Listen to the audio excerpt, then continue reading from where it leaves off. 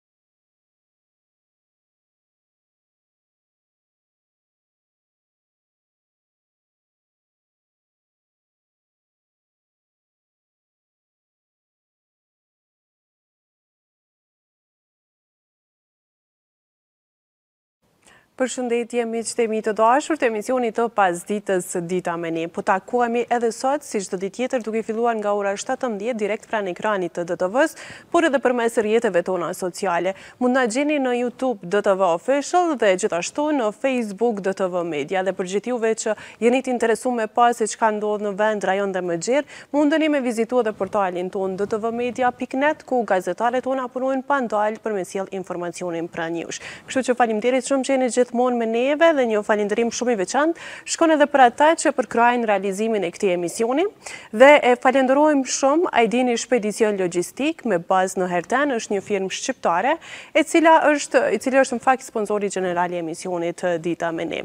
Një falënderim tjetër shumë i rëndësishëm shkon edhe për qendrën ACI që mundëson ngushtimin e stomakut. Për gjithë juve që keni pak problem me shëndetin, ndoshta ose disa kilogram më tepër, qendra estetike ACI mundëson që pas konsultit që keni në e që gjendet në Fushë Kosovë, mundëson që të shkoni në Stamboll me mjekët më të mirë atje.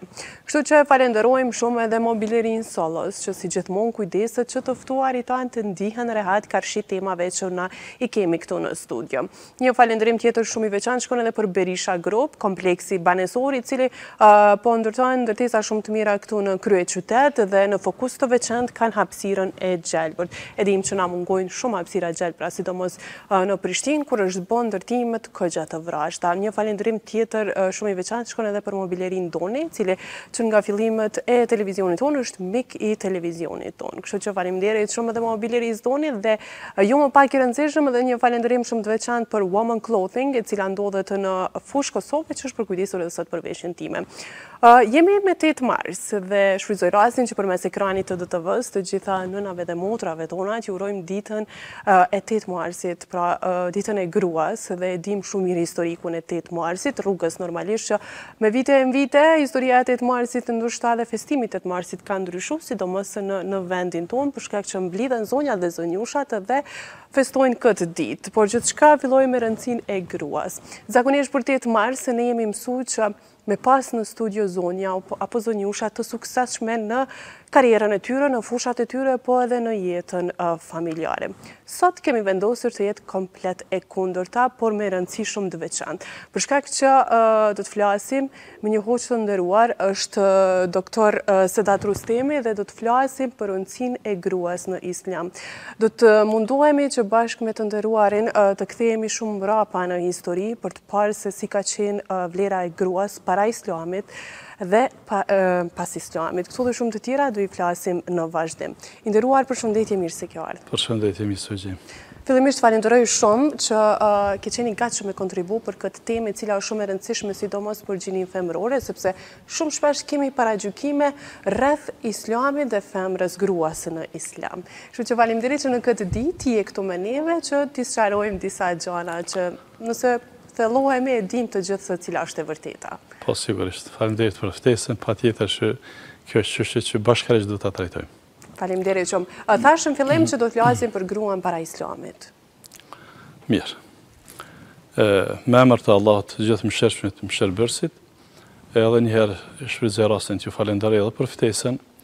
Po gjithsesi që tema të cilën do ta trajtojmë së bashku, nuk është një temë tabu, po për qasjen dhe formën që sot do ta trajtojmë, ndoshta është një, një, një temë tabu, sepse zakonisht trajtohet prej gjinisë femërore dhe e, ndoshta ka edhe nashkalime dhe tejkalime të kësaj qështje që unë e shfrytëzoj rastin që të lutem për të gjithë Për gjithë njerëzit, pa dallim gjinie, po me theks të veçantë edhe për gjininë femërore që Zoti t'u jap të mbarën edhe të kenë suksese në jetën e tyre.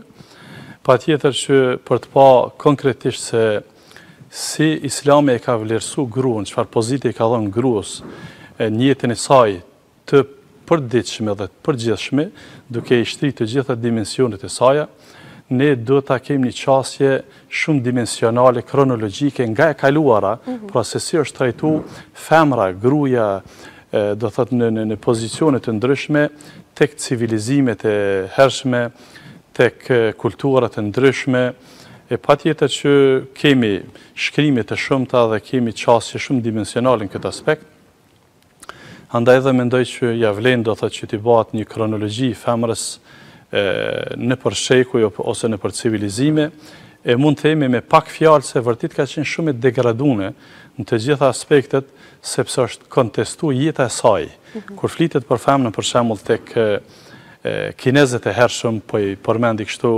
kalimthi disa prej thënieve që flasin edhe sociologët edhe Psikologët edhe flasin, do thotë, studime të ndryshme, flasin se femra është trajtu si një diçka, si një plaçkë pa vlerë në shtëpi. Dhe kështu është bërë, domethënë, me kalimin e kohës nëpër shekuj. Dhe në fakt me ardhjen e Islamit gjithçka ka ndryshu. Padyshim që ardhja e Islamit i ka dhënë gruas pozitën e saj që ka, fillimisht si njeri e pastaj edhe si gjini. Kur flasim si njeri, do thotë ardhja e Islamit ose zbritja e Kuranit ka dashur që gruan ta zbresë, fillimisht të pranohet si qenie njerëzore, sepse ka pas tendenca që gjinia femërore të jetë jo e pranuar në familje, jo e pranuar në shoqëri. Edhe kjo ka bërë që gruaja në një farë formë ose tjetër të përjashtohet. Dhe kështu do thotë e trajton Kurani.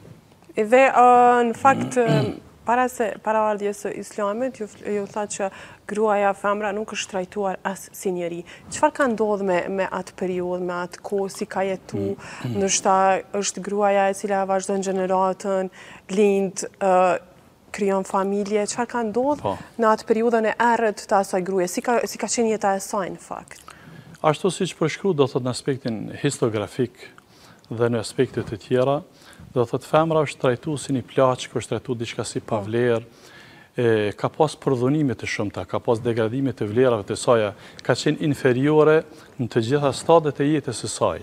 Praktikisht pra nuk është trajtu si qenie njerëzore, as si bashkëshorte, as si nënë, as si punëtore, por një kapital që duhet të shfrytëzohet edhe duhet të braktiset. Mhm. Prandaj është divorcu pa masë, është keqtrajtu edhe fizikisht, moralisht, e kështu me radhë. Edhe si përshkruan islami mhm. krijimin e gruas së parë në tokë?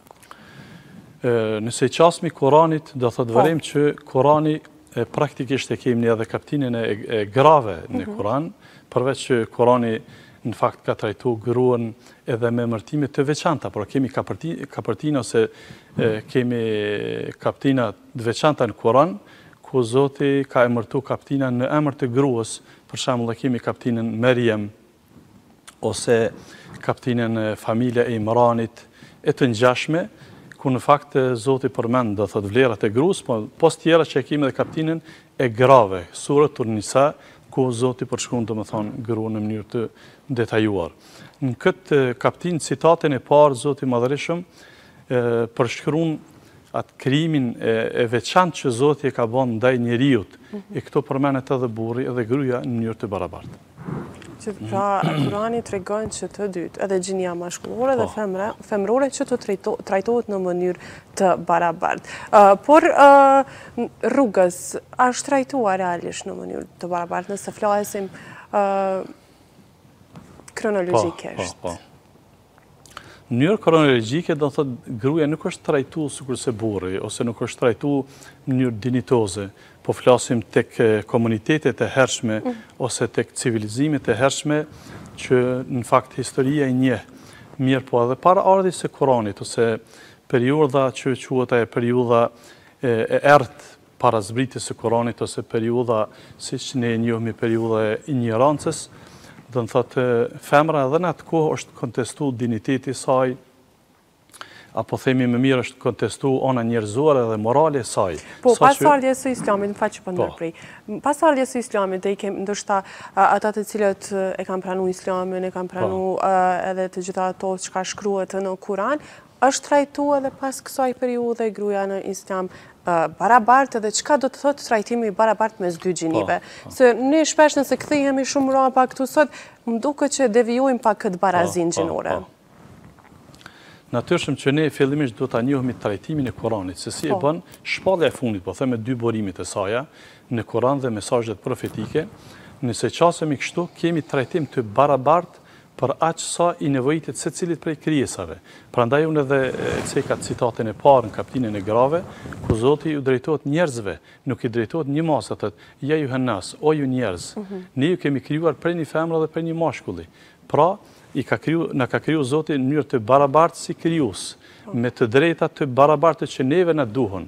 E pastaj, do të thotë dhe i ka afru Zoti të dy gjinive, elemente të cilat i nevojiten njeriut si qenie njerëzore, e pastaj ne e dimë që si krijesa kanë edhe dallime po themi kështu substanciale siç flasin edhe shumë antropologë edhe shumë biologë edhe shumë psikologë që njëra është një krijesë me me ndryshime fiziologjike dhe biologjike. Po. Prandaj krijuesi Zoti i Madhërishëm në bazë të krijaturës që ia ka bo secilës gjini ia ka afru edhe kriteret e përafërta që i nevojiten.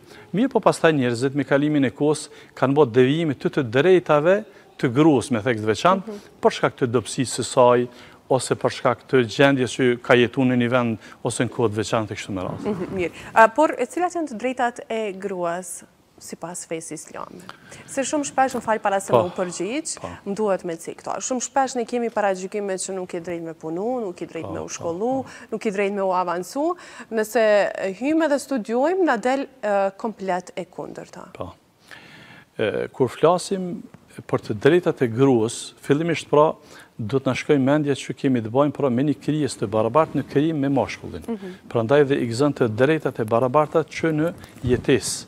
Pra, fillimisht, Kurani ka dash që e ka trajtu fillimisht çështjen e jetesës, që gruaja është e barabartë në jetesë sikurse mashkulli, që i bie se nuk ka të drejtë askush t'ia cenon të drejtën e jetesës së saj.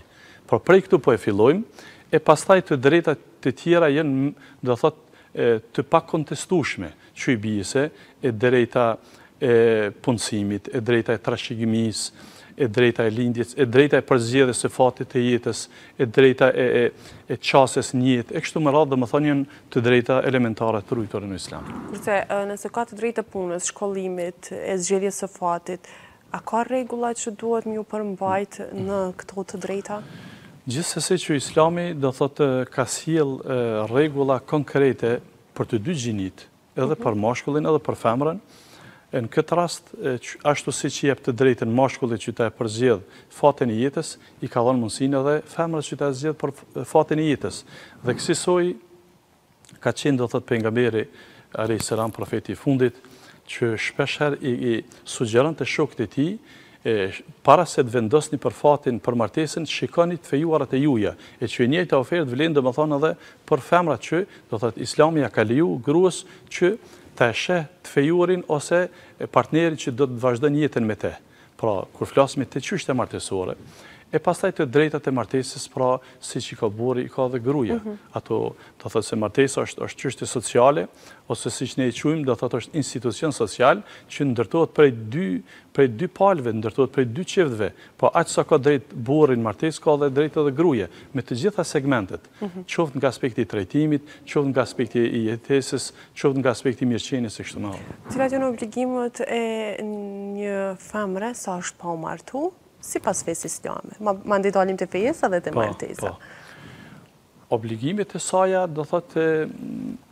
është ne do thot në islam nuk ka diçka të veçantë prej mashkullit. Mhm. Sa i përket periudhës paramartesore. Jetesës në shtëpi të pra, babës. Jetesa në shtëpi të babës është e barabartë me vëllezërit e saj.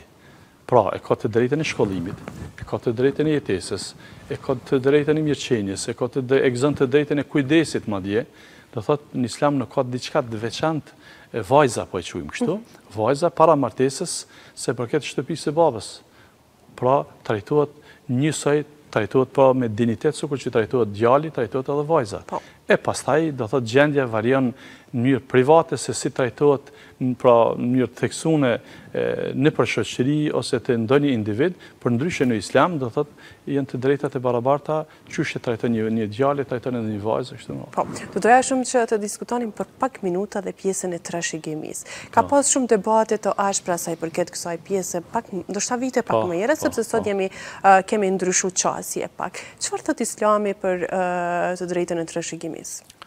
Them të drejtën, shpesh herë ka abuzim në këtë çështje, sa i përket çështjes së keqinformimit lidhur me të drejtën që ka gruaja në Islam, te çështja e trashëgimisë, për faktin se i referohen ndoshta shkrimeve jo të sakta ose informatave jo të sakta, prandaj dhe ne jemi këtu pikërisht me elaboru këtë çështje, sepse ne po flasmi tani në shekullin e njëzet e një, mirëpo para pesëmbëdhjetë shekujve parafërsisht, Islami veç i ka kristalizu këtë çështje, po, të drejtën e femrës, në atë kohë po themi kur femra ka qenë shumë inferiore, ka qenë e pavlerë ka qenë e shtypur në atë kohë islami i ka siguru të drejtat e gruës po themi në segmente në rrafshe të ndryshme me theks të veçantë edhe në rrafshin e trashëgimisë pra praktikisht në aspektin e islamit baba si babë prindi kur ta ndon pasurinë Do të thotë, femra është pjesëmarrëse aktive në trashëgimi te baba fillimisht po flasim. Po po, te baba. Sepse femra trashëgon në disa në disa etapa të jetës. Mm -hmm. E fillimisht ne po e fillojmë tek baba, nëse baba edhe pse në Islam pasuria ndahet pas vdekjes së babës parimisht. Mirëpo ka të drejtë baba sa është gjallë me nda pasurinë fëmijëve të tij, djemve dhe vajzave. Pra vajza është aktive në trashëgimi, që i bie se, do të thotë, nuk është përjashtuese në trashëgiminë e babës si vajzë. Këtë mund ta gjeni, pra, edhe për audiencën tuaj, mund ta gjeni në kaptinën e grave, do të thotë, në mënyrë të detajuar zoti e ka e ka specifiku këtë çështje. E pastaj, pas martesës, pra është pjesë aktive e jetës martesore dhe trashëgon, do të thotë, edhe te burri. Pra trashëgon edhe prej burrit, nëse burri i vdes, Ajo trashëgon nga pasuria e burrit, pra trashëgon te baba edhe trashëgon te burri. Po unë këtu po du me parashtru edhe një lloj pyetje, edhe për audiencën dhe për ta kuptu. Tash na kemi problem me dyshin e me njishin, se gjithmonë dyshi është më i madhi. Pra që i bie se gruaja trashëgon dy herë, ndërsa burri trashëgon vetëm një herë. Burri trashëgon vetëm nga pasuria e prindit. Që i bie se në Islam, gruaja pra e ka drejtën e trashëgimisë te baba, e ka të drejtën e trashëgimisë te burri, Përveç që e ka dhe të drejtën e pasurisë, pra në gjatë aktit martesor që quhet dhurata e martesës, që quhet domethënë mehr me gjuhën e fesë, e që në fakt Islami është i pari që e ka fut këtë rregull ose këtë ligj në jetën sociale. Dhurata e martesës diçka ndoshta që Për islamin shumë e njohur, po, po për shoqëninë tonë po, është nuk po, është shumë e njohur. Çka përbën, çka është edhe kur është fut kjo dhurata e martesës dhe a kthe dhurata e martesës nëse përfundon martesa? Po, po. Do thot gjatë kohës së shpalljes, ne po flasim jemi kthy një periudhë afër 15 shekuj më parë. Po, kuptoj. Po flasim ne jemi të fol të ligjërojmë shekullin 21. Mhm. Mirë po po flasim për informata para 15 shekujve që Islami i ka sjellë. Ajo është vazhdimësi e krejt botës, në fakt edhe çdo shekull që kalon, kthehemi mbrapa dhe shohim që jemi paralel me atë 15 shekullin më herët. Edhe kjo i vjen që do të thotë në kohëna, në kohëna të të vështira, në atë kohë kur në fakt njeriu si qenie njerëzore nuk është vlerësu, Islami do thotë e ka vlerësu tejmase gruan. Me qëllim që ta nxjerrë do thotë nga një katrahur dhe nga një humnerë e cila ka jetu do thotë shekuj me radhë gruaja. Në këtë rast, pra vajza në ditën kur e bën aktin martesor, ajo ka të drejtë, jo burri me ia përcaktu. Po. Është e drejtë ekskluzive e vajzës, sipas Islamit po flas. Po, po, normal. Është e drejtë ekskluzive e vajzës, në këtë rast e bashkëshortës, që të kërkon pasuri, do të thotë që të jetë pjesë aktive në jetën martesore. Mhm. Nganjëherë ka keqinterpretime këtu në shoqërinë tonë, po flas edhe te komuniteti musliman, sepse kur ta studiojmë anën kanunore, në aspektin kanunor të vendit tonë, të femrës mhm. tonë, po flasim edhe në periudhën para ardhjes së islamit në këtë vend, pra ka qenë njohur ana kanunore, femra është tregtu me femrën, ose thënë më mirë është shit femra, dhe hala ende edhe më tutje vazhdon te disa njerëz që kur flitet për dhuratën e kurorës, e disa e trajtojnë këtë sikur po don me e shit vajzën. Jo, jo, po. është keqkuptim, është keqinterpretim përkundrazi.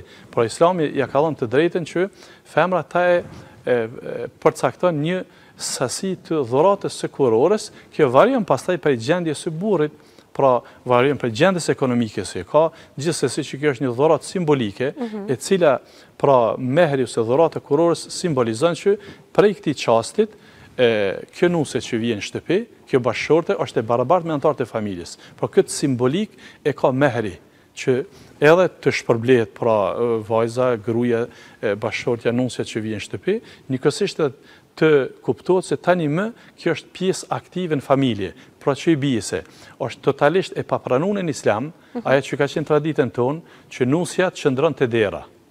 Nusja të ulet te dera, kështu ka qenë në aspektin kanunor vendin tonë, zakonisht. Ka ende kësi e perceptime. Kjo është, domethënë, kjo nuk përket me qasjen e islamit, madje nuk përket as me qasjen, as me qasjen njerëzore. Pra, të dim që t'i dallojmë çështjet kanunore nga e drejta që i ka afru islami, pra, prej këtu fillon ajo, po them, ajo drejta e barabartë e grues, e bashkëshortes në familjen e burrit, që tani më kjo nuk është rob, se edhe fatkeqësisht është është trashëguar dhe kjo terminologji e kam zonë rob ose për hajr që kanë zonë rob. Edhe kështu i kanë thonë do thot kur e kanë përuruar, pra kjo është konsideroj se është është përfol si ndoshta si terminologji jo e qëlluar, mirëpo ne duam ta kristalizojmë që gruaja nuk është rob, nuk është mhm. sklav.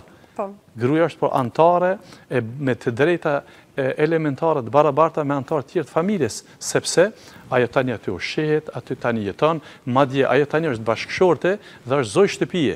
Por në Islam gruaja trajtohet si zojë shtëpie, nuk nuk trajtohet vetëm si gjini. Pra, nuk kemi të bëjmë këtu me një numër shtesë në familje.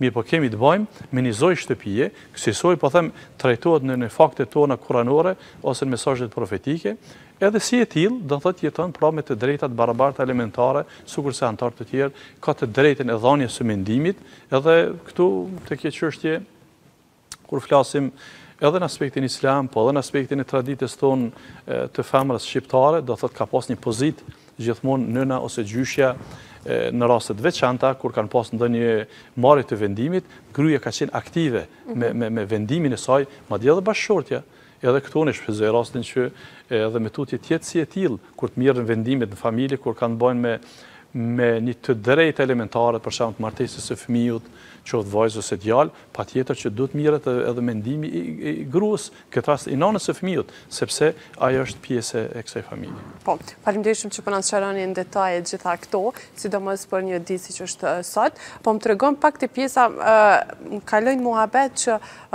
Femra ka të drejtë ta zgjedhë vetë fatin e jetës. Po. Ne shpesh i kemi ndoshta dy ose shumë ekstreme i bjen. Po, po, ose duhet me ta zgjedh nji si që nuk e sheh, ka qenë vite ma herët, normal, në vendin tonë, ose duhet me gjet vetë edhe me ndejt, ndoshta përfundon fejesë, ndoshta nuk përfundon, a mundesh me na tregu më detajisht për këtë pjesë? Po, fatkeqësisht, kjo çështje është trashëgu në aspektin kanunor.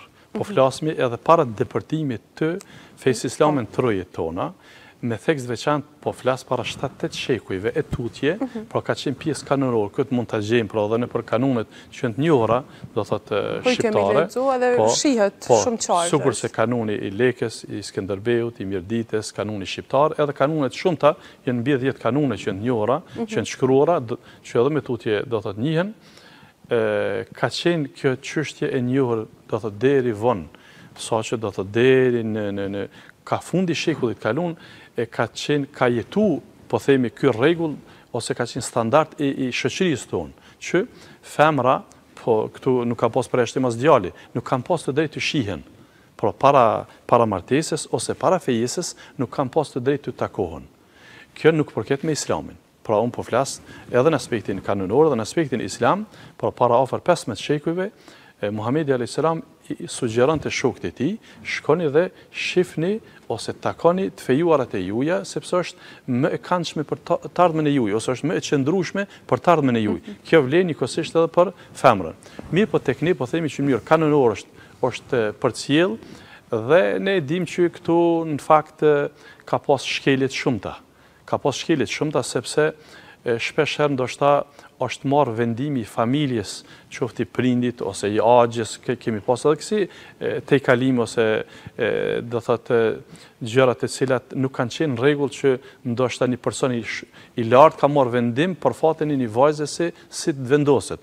Pastaj është tejkalu mosha e saj, kemi raste ku mosha e mashkullit ka qenë shumë e madhe krahasim me moshën e vajzës ose nuk janë përshtatë edhe në fizionomi ose nuk janë përshtatë edhe në aspekte tjera e që do të thotë këtu është ajo çështja që Islami i ka afru të drejtën që ta jep vajza mendimin e saj Femra mendimin e saj se a përshtatet ose pajton me me me martesë me X personi apo nuk pajton. Mhm. Pra këtë çështje ose këtë të drejtë Islami e ka afru para afër 15 shekujve.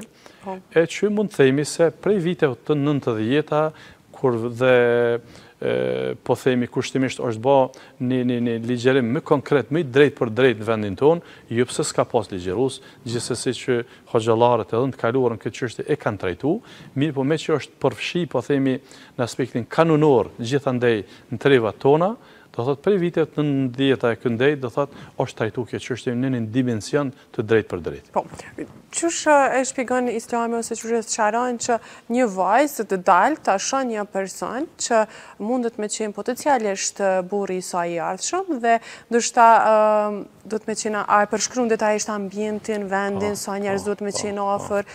Është kjo, ka shpjegim sa i përket kësaj? Ka naj rregull në fakt? Po, po, ka rregulla, sepse unë du edhe këtë për hirë të audiencës, edhe për hirë të vlerave që islami i sjell, sepse islami sjell vlera hyjnore. Mhm. Dhe unë po i them me kompetencë që islami e ka në fokus njeriun e me theks të veçantë femrën për shkak të mundësisë së manipulimit të saj, prandaj dhe Islami rregullat që i sjell, këto standarde nuk i sjell për ta degradu femrën, për ta po. nënvlerësu femrën, mirëpo për ta fuqizu vlerën e saj, e që i bije se fillimisht kërkohet që të njoftohet familja, në momentin që ofertohet për një femër, këtë mhm. rast, një femër i oferton një një mashkull për martesë, atëherë kërkohet që femra ta njoftojë familjen e saj që e kam këtë ofertë, e pastaj njoftohen, do thotë dalin del dikush prej anëtarëve të familjes, baba ose vëlla ose dikush, e bëjnë një takim bashkë me personin i cili oferton për te, mhm. dhe njoftohen, Edhe, do thotë, kërkohet që të jetë përcjellësi me të në parim, kërkohet që të jetë me qëllim që ta vëzhgon gjendjen faktike të të mashkullit ose të dhëndrit që që do të vijë, mhm. jo për ta degradu vlerën e femrës, sepse këtu shpeshherë ka keqinterpretime sa i përket kushëzimit të përcjellësit që Islami e kushëzon. Pra, te femra, nuk është çështje e nënvlerësimit të femrës, është çështje e ngritjes së vlerave të saj, sepse kjo edhe në aspektin shkencor është, studiohet, po edhe në aspektin rrafshin praktik, dihet që nuk janë të barabartë sikur një njeri kur vendos për diçka, e që martesa është jetike dhe është, do të thotë, afatgjate, nuk është e barabartë me ata që, do të thotë, e vlerësojnë dy vetë ose më tepër persona. Sidomos, kur është në pyetje prindi, i cili ka investu në atë vajzë, dhe po flasim për një prind i cili, do thot, ka qasje në jetën e përditshme sociale dhe i njeh gjërat mirë, nuk po flasim do thot për prind i cili ndoshta nuk e njeh këtë rrafsh, po zakonshëm prindët, do thot, ja duan të mirën fëmijëve të tyre, Edhe pse, do thotë një qasje e tillë është edhe për për djalin, do thotë kërkohet që të mirret edhe mendimi i prindit dhe ta japë vlerësimin edhe prindi edhe për djalin me qëllim që martesa të jetë më e suksesshme. Por Islami e ka ngrit e ka ngrit do thotë çështjen e përkujdesit te femra për shkak që mund të ketë ketë, do të thotë, keqinterpretime ose keqkuptime ose manipulime të ngjashme, pra Islami e preferon që të ketë edhe prezencë të anëtarëve të familjes së vajzës që të japin edhe ata mendimin lidhur me të ardhmen e saj në martesë. Po. Kur po dalim te martesa, në fakt se unë po kam qejf që pak më shumë detajisht po. femrën si vajzë, po. femrën para martesës dhe femrën në martesë dhe më pas edhe po. femrën si si gjyshe ndoshta. Çfarë thotë Islami për nonën? Kur bëhet një femër po, po. e martuar, po, bëhet mamë për herën e parë, ndërsa po dhe e krijon familjen e vet. Gjithsesi që nana është gjithçka në islam, po themi si krijesë, për atë arsye dhe kemi fakte të veçanta hyjnore ose lavde të veçanta hyjnore që janë thurur për nanën, edhe pse kur flitet në Kur'an për shembull për respektin ndaj prindërve, hyjnë të dy. Mirëpo në shumë citate, Zoti specifikon nënën, specifikon për shkak të pozitës saj, për shkak të vujtjeve të saj, domethënë për shkak të vujtjeve gjatë lindjes edhe angazhimit të saj në edukim e kështu me radhë. Prandaj dhe themi që përkujdesi ose përkushtimi i islamit ndaj nënës është shumë i veçantë dhe në disa tekste tonë, në disa thënie profetike ka ardhë që kur është pyt pejgamberi alejhi selam për obligimet që i ka njeriu karshi njeriut, është pyet se ndaj kujt kemi obligime më së shumti, ka thonë ndaj nënës. Pyetësi po vazhdon prap, e pastaj prap ka thonë ndaj nënës. E pastaj prap ndaj nënës. Në herën e katër është përgjigj ndaj babës. Jo pse kjo duhet të kuptohet nga ne dhe nga të tjerët që më pak duhet të vlerësohet baba. Jo në asnjë formë, mirëpo kjo me kuptu për pozitën e nënës që e ka në Islam, për shkak të vlerave të saja, vujtjeve të saja, mundimeve të saja, e pastaj jo dhe rastësisht, ka thënë Muhamedi alejhi selam se xheneti qëndron nën këmbët e nënës, pra nën përkushtimin që e ka fëmiu ndaj nënës. Pra, kësisoj shikohet nëna në Islam, pra me vlera shumëdimensionale.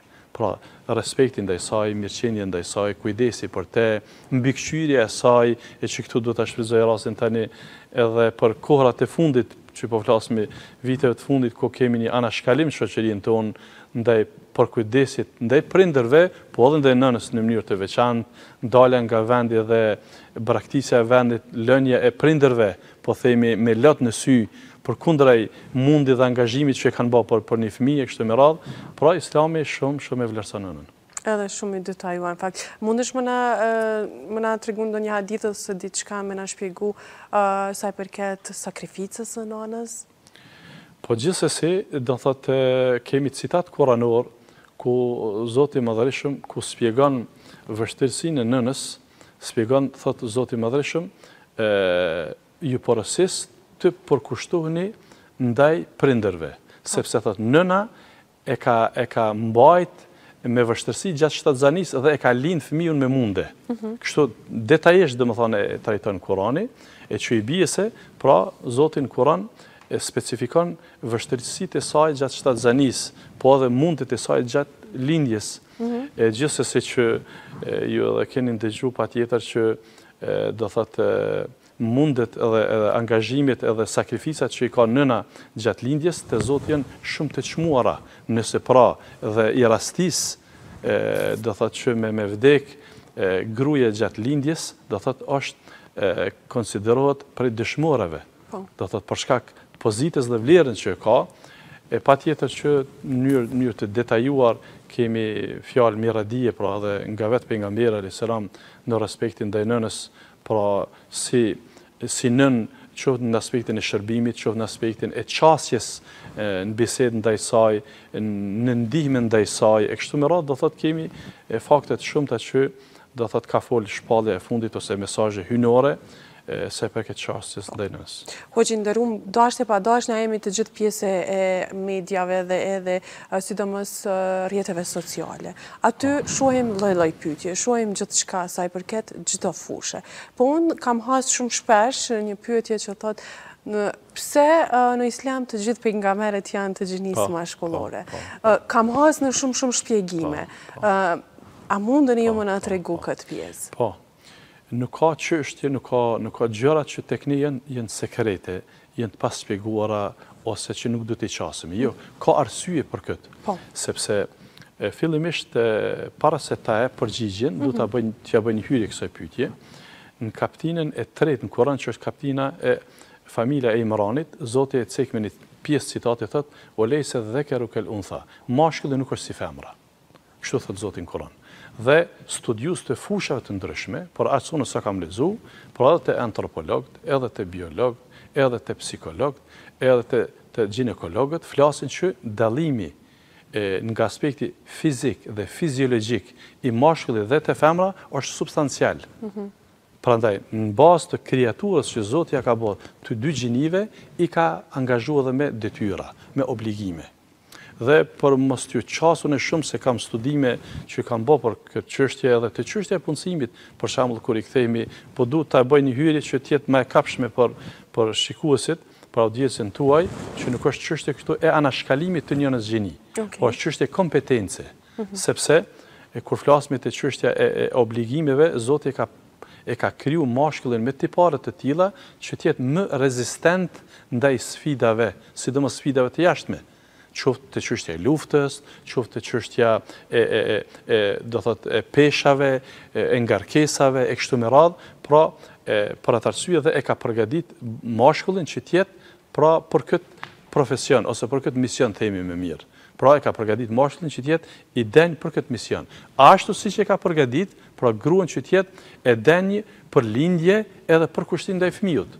Unë me modesti kur e shpjegoj këtë çështje them që nëse e marrim një fëmijë të posalindur, edhe u afrojmë dhjetë meshkujve, veç kanë inat me e majtë, e kanë shumë të vështirë, ose ndoshta do të shkrujnë edhe libra, ndërsa nana e man me andje edhe me gzim shumë të madhë, saqë gjumi nuk e ka për shkak përkujdesit që ka ndaj fëmijës. Po. Pra, është në pytje çështja edhe hormonale, është në pytje çështja edhe emocionale, që Zoti pra i ka kriju të dy gjinitë me dallime siç thashë, mhm. siç e ceka më herët edhe në aspektin fiziologjik, edhe në aspektin biologjik, dhe misionet edhe profesionet do të thotë janë të përshtatshme në bazë të gjinisë që janë. Pra këtu është në pyetje, jo dhe anashkalimi i po. tyre, sepse ne kemi kemi pra femra që Zoti do të thotë i ka inspiru, sikur që e kemi nanën e Isaut, mhm. Merjemen, Zoti e ka inspiru para lindjes së Isaut alejhi selam.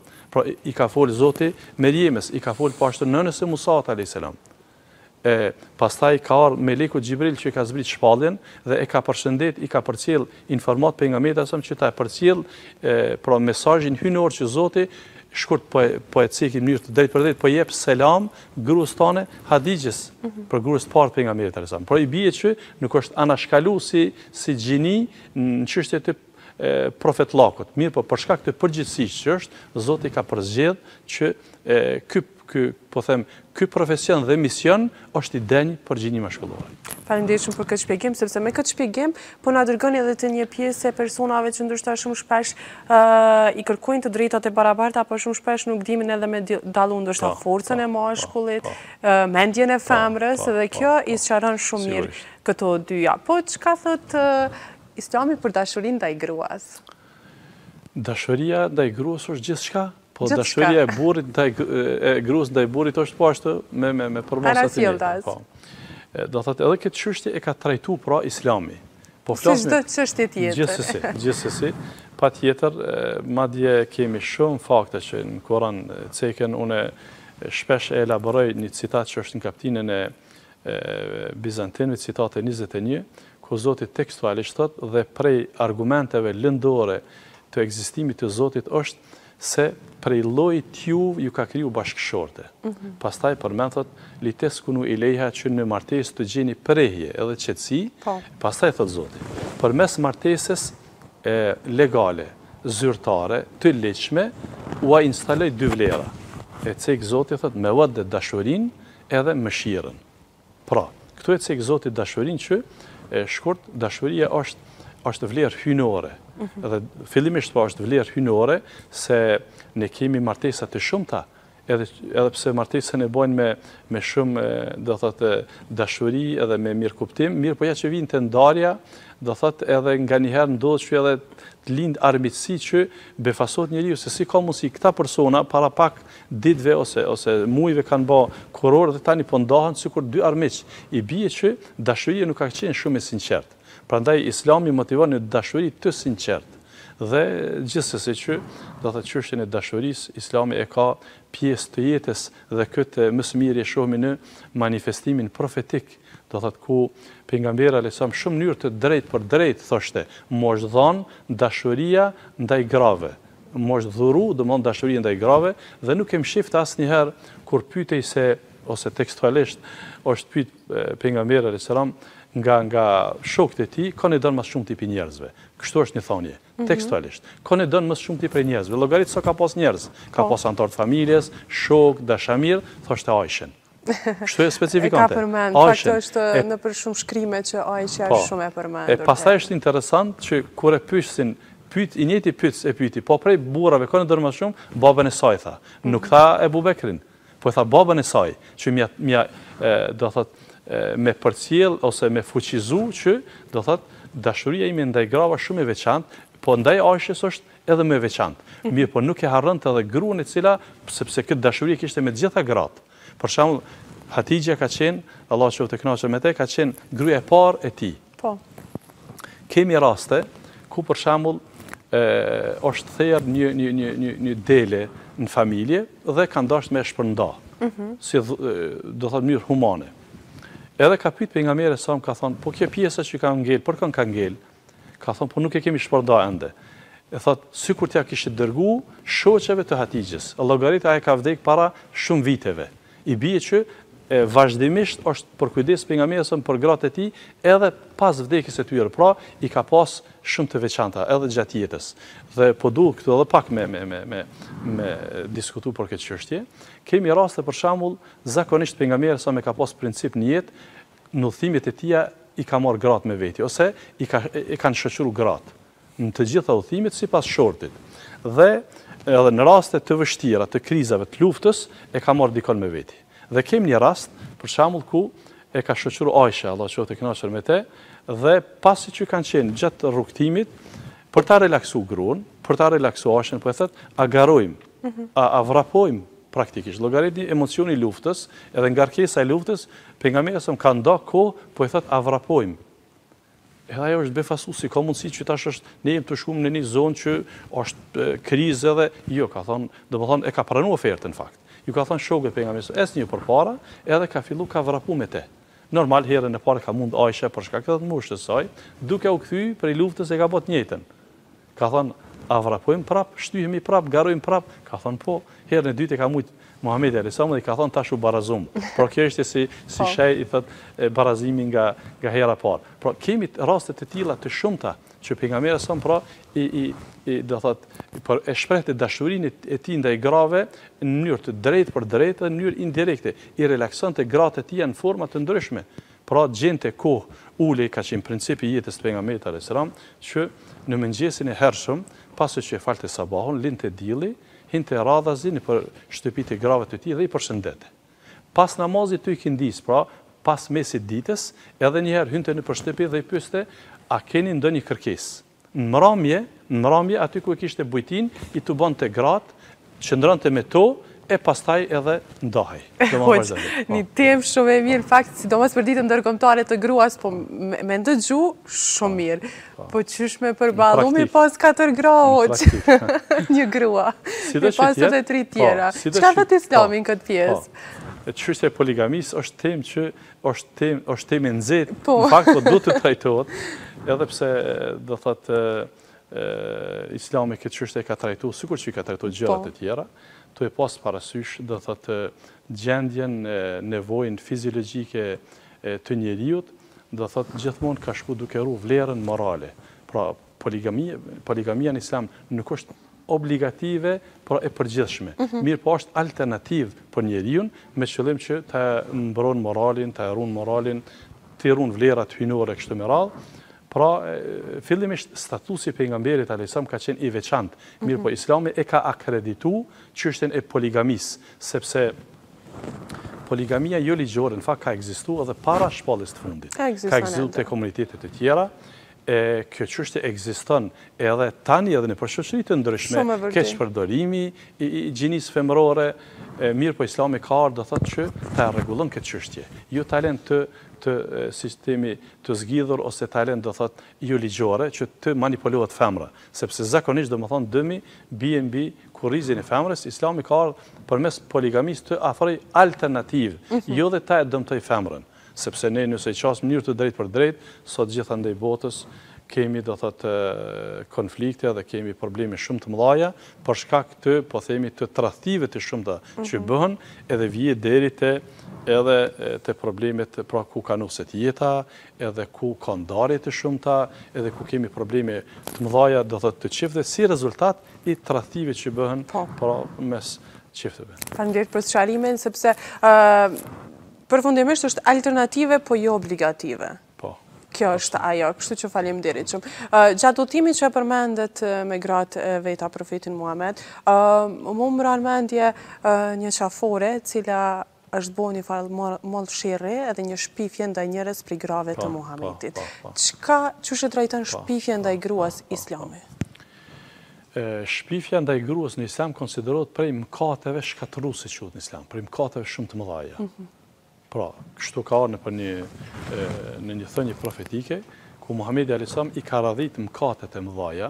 Po. Bile këto njihen në në aspektin islam shtatë mëkatet e mëdhaja që kanë ardhë në këtë tekst përndryshe ka edhe të tjera në në në forma të ndryshme të folura nga aspekti profetik, mirëpo në një thënie ka ardhur ruhuni prej shtatë mëkateve shkatërruese madje i ka quajt. Po. Mesin e tyre është edhe, do thotë, të të akuzosh femrën, do thotë, për një çështje tradhtie ose morale të ndryshme, do thotë konsiderohet prej mëkateve të mëdhaja në Islam që do thotë femra të akuzohet, do thotë, padrejtësisht E në këtë rast, pyetja juaj ka të bëjë me pikërisht me Ajshen Allahu qoftë i kënaqur me të, që është shfrytëzuar prej dashakeqësve që në fakt ta ulin vlerën profetike edhe të familjes profetike, edhe është shfrytëzuar kjo rast e që normal që për këtë çështje duhet me majt ligjërata të shumta, po po mundohna ta e përkufizoj. Po. Çështja ka qenë që do thotë pejgamberi alayhis salam ka qenë siç thashë edhe më herët i shoqëruar gjithmonë me gratë e tija nëpër udhëtime,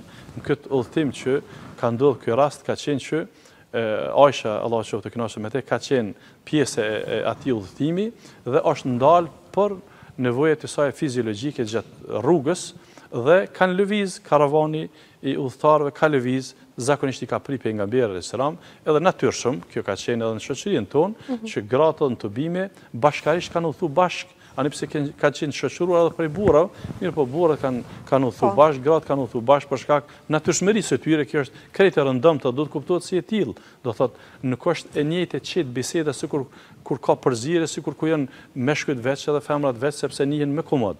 Edhe e tillë ka qenë këtë rast edhe Ajsha, edhe është vonu.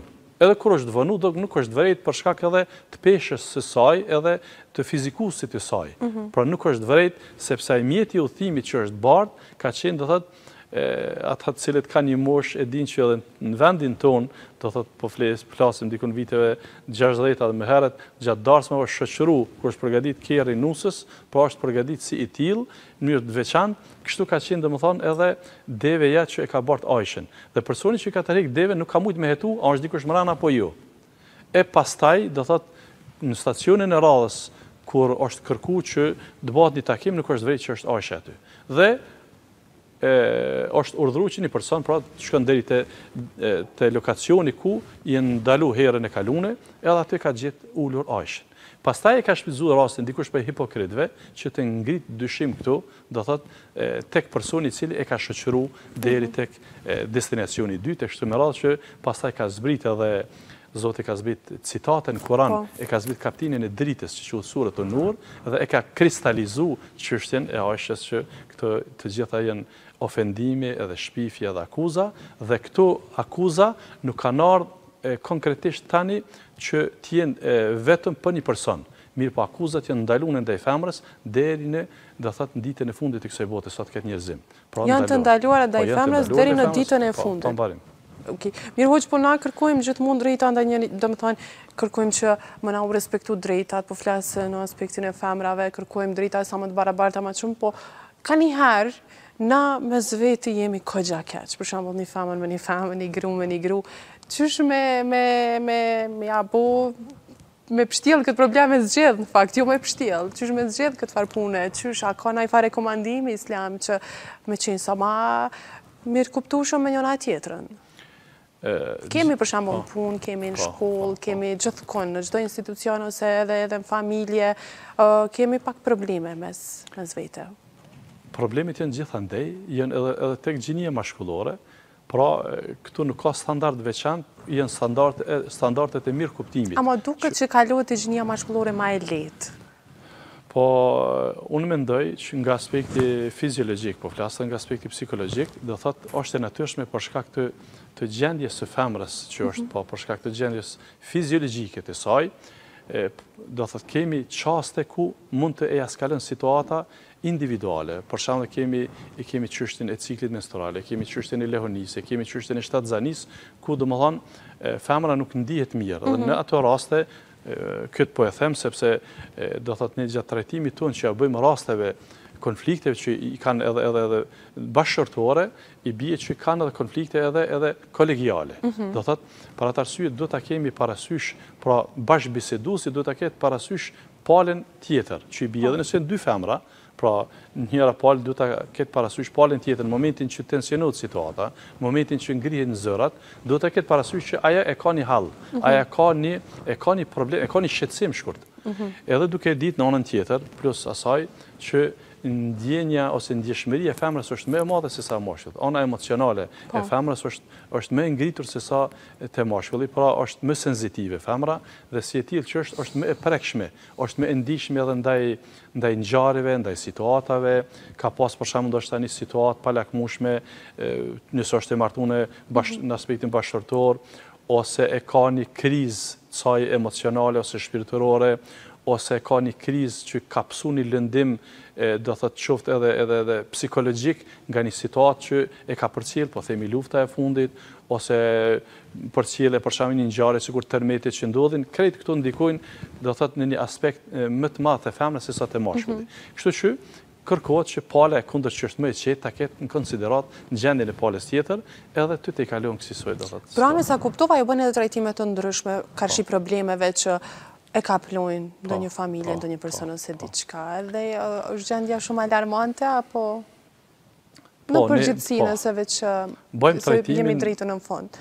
Po, bëjmë trajtimin edhe të problemeve martesore, mhm. do thotë krizave bashkëshortore, po bëjmë edhe trajtimin e krizave mentale, do thotë kur i ndodhin njerëzve, çifteve, e kështu me radhë, edhe këto janë pjesë e aktualitetit, do thotë gjithandej globit, mhm. jo vetëm në vendin tonë, mirëpo janë gjithandej, po patjetër që në rrethanat të vendit tonë, shoqërisë tonë, janë faktorë që kanë ndiku, do thotë, te eskalimi, po themi, situatës, edhe lufta e fundit, do thotë, do thotë, kanë mbet pasojat, sepse në aspektin psikosocial, pasojat nuk reflektohen aty për aty, po.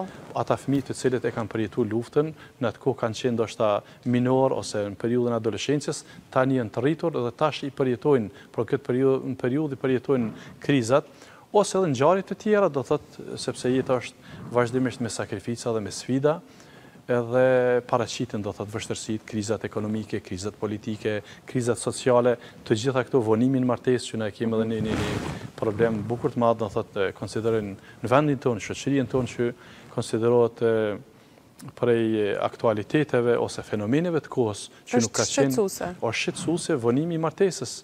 Një studim që është bërë, do të thotë një sondazh i vitit dy mijë e njëmbëdhjetë, do të thotë diku në tridhjetë e një pikë pesë është mesatara e moshës së të pamartuarve. Varion një gjysmë viti ose një vit gjinia mashkullore me gjininë femërore, e që është shqetësim, sepse vonimi i martesës prodhon kriza emocionale, prodhon kriza kandonjëherë edhe psikosociale, e të gjitha këto do të thotë shfaqen në jetën e përditshme. Akumulim dhe në fakt përdrisa jetojmë çdo ditë me sprova, normalisht që po, do të ballafaqohemi po, me po. probleme. Çështja është edhe e rëndësishme është me di se qysh me i zgjidhë dhe me i dalë ballë këtyre problemeve bashkë me ndihmën e juaj dhe gjithë atyre që kontribuojnë në këtë drejtim. Hoxhë i nderuar të falenderoj shumë nëse ki diçka për fund naj mesazh për gjithë nënat dhe motrat tona si pikërisht për ditën ndërkombëtare të gruas, atëherë mundesh edhe me edhe me u shpreh. Faleminderit për ftesën. Gjithsesi që në këto çaste unë uroj që vazhdimisht të jetë përkujdesja jo ndaj nënave tona, ndaj bashkëshorteve tona, edhe përkujdesja gjithandej ndaj bijave tona, sepse edhe më kemi nevojë pra që ta shprehim mirënjohjen tonë ndaj nënave tona, ndaj bashkëshorteve tona, ndaj bijave tona, me qëllim që do të thotë të bëhet një balancim i vlerave në mes të dy gjinive, mes meshkujve dhe femrave, mes djemve dhe vajzave, pra uroj që të mos qëndrojë kjo tek prindit, po edhe tek bashkëshortet, po edhe tek fëmijët, pra që t'i duan të dy prindit, t'i respektojnë bashkëshortet, t'i respektojnë nënat e tyre, t'i respektojnë vajzat e tyre dhe kësisoj ecim bashkarisht. Faleminderit shumë hoxhë i nderuar edhe një herë faleminderit. Miqtë e mi të dashur, siç e patë, diskutuam për vlerën e gruas në Islam, pikërisht në ditën ndërkombëtare të gruas. Në përgjithësi diskutuam, po në fakt kjo temë është shumë e gjerë dhe secila tematikë nxjerr një temë tjetër e cila do të ishte shumë interesante. Pikërisht në këtë ditë, po edhe gjatë gjithë jetës tonë. Faleminderit shumë për vëmendjen, menjëherë pas bisedës në studio do t'ju pret një storje e cila Alberta Nishori, gazetarja jonë ka përgatitur pikërisht për ditën ndërkombëtare të gruas, ku disa gra janë mbledhur për të punuar disa veshje tradicionale. Kështu që faleminderit shumë edhe një herë, gëzuar edhe një herë ditën ndërkombëtare të gruas, respektoni më shumë njëra tjetrën, më pas që të na respektojnë të tjerët. Kështu që faleminderit shumë.